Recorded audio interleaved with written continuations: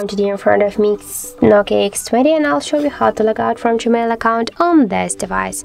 So just click here to the Gmail application and on the right upper corner tap and you'll see that we are logged in into two accounts at the same time and now we should uh, just log out from one from these accounts we should click here to manage accounts on this device and we will launch the Gmail uh, Google account settings. Now just click for example to the second account and click here to remove tap confirm here to remove and in Google account settings. As can you see we stay only with one account. And now just go back into the Gmail application and here you can see that we stay only also with one account.